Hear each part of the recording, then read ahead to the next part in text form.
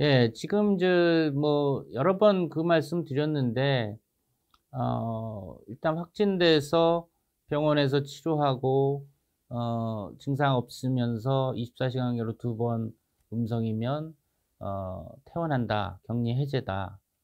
네, 우리나라도 뭐 어제 뉴스를 보니까 한 10케이스 정도가 음성으로 어, 퇴원한 후에 다시 양성이 돼서 확진된 어, 케이스가 10케이스 정도가 있다라고 합니다. 네, 그래서 그 이유가 뭐냐? 근데 사실은 뭐 중국에서도 이미 뭐 여러 리포트에서 뭐 광둥성에서에서는 한 뭐 14%다. 또 어떤 보고에서는 뭐 3 내지 10%다. 그러니까 확진 치료받고 호전돼서 음성이 된 다음에 이제 퇴원했는데 뭐 1, 2주 사이에 다시 양성으로 되는 사례가 중국에서도 쭉 보고가 됐었습니다. 그래서 격리 해제되고 나서도 뭐 한 2주 정도는 좀 자가 격리하고 2주 시점에서 확진 검사를 다시 하자. 아, 이런 것이 이제 중국의 이제 일부 가이드라인은 그렇게 반영이 돼 있는데 우리도 이제 지금 어 치료하고 회복돼서 나가는 분이 5천 명이 넘었잖아요. 그러니까 이제 5천 명이 넘은 상황에서 지금 이와 같이 음성으로 됐다가 양성으로 되는 사례들이 계속 속출할 거라고 저는 보이는데 그럼 그 의미가 뭐냐? 그 의미가 뭐냐는 게 이제 중요한 거죠. 그러니까 일단은 뭐 크게는 두 가지로 볼 수가 있어요. 그러니까 원래 가, 감염됐던 바이러스가 어, 치료하고 좋아지면서 어, 바이러스가 숫자가 줄어들어서 어, PCR 확진 검사에 검출 한개 밑으로 숫자가 줄어들었다가 그 음성이죠. 그러면 퇴원해서 이제 해동 어, 일상생활 하다가 이게 활성화가 되면서 어, 다시 이 양성으로 되는 뭐 증상이 있든 없든 양성으로 되는 이걸 이제 릴랩스라고 합니다. 재발이라고 그러죠. 뭐 재활성화가 돼서 어, 재발된 같은 바이러스가 어, 줄어들었다가 다시 늘어나면서 이제 재발, 릴랩스라고 하고요.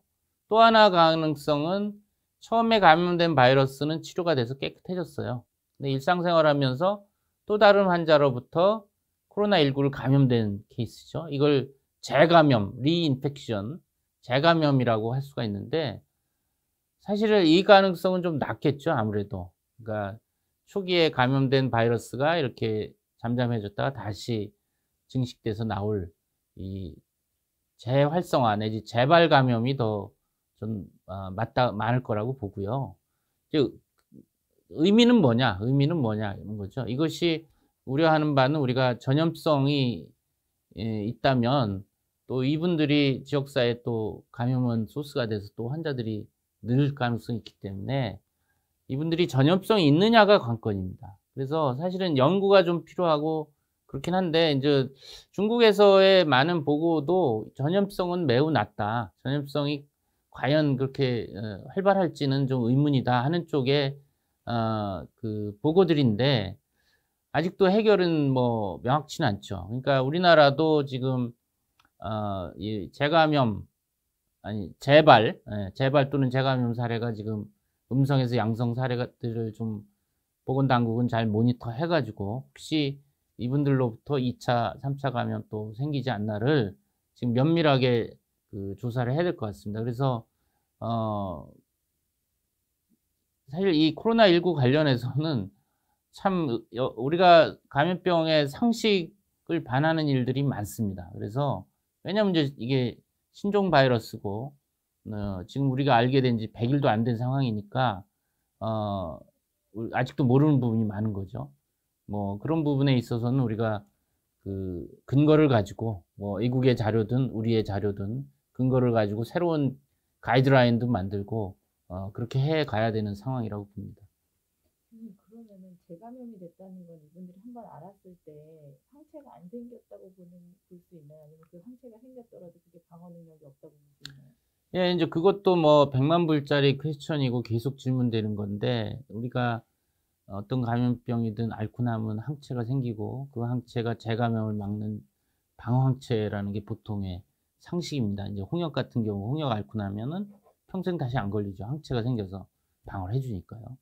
근데 지금 이 어, 코로나19 같은 경우 지금 많은 이제 여러 연구들이 감염되고 나서 일주 말 정도의 항체가 생깁니다. 우리가 IgM 또 IgG라고 한 두 가지 항체가 있는데 IgM은 좀 일찍 생기고 IgG는 늦게 생겨서 오랫동안 지속되는 게 IgG 항체인데 어, 그래서 2주 정도 말에 되면은 거의 90% 이상 항체가 생깁니다. 네, 거의 대부분 생깁니다. 그리고 이 항체가 재감염을 예방하리라고 생각하고 있습니다. 지금 어, 재감염 예방하는 항체일 텐데 문제는 어떤 사람들은 또 항체가 안 생기는 사람들이 있어요. 일부.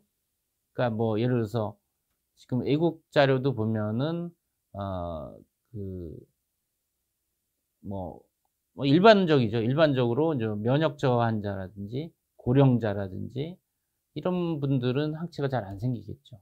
그 얘기는 다시 재감염의 우려가 있을 수 있고 또 생긴 항체가 방어를 해준다 그러면 과연 얼마나 오래 지속될 것인가가 사실 관건입니다. 그러니까 홍역 같은 경우는 앓고 나서 생긴 방어 항체는 평생 가거든요. 거의 평생 가는데 지금 이제 메르스도 그렇고 사스도 그렇고 뭐 몇 달, 뭐 1, 2년 어 이게 오래 지속이 안 된다는 게 지금 문제인 것 같습니다. 그러니까 그 얘기는 뭐 수개월 지속되고 항체가 없어지면 뭐 내년에 다시 걸릴 수 있다 그런 얘기인데 지금 여전히 이것도 수수께끼입니다. 왜냐하면 지금 어, 이, 이 바이러스가 공식적으로 나온 게 2019년 12월 31일이니까 어, 아직 100일이 안 됐죠.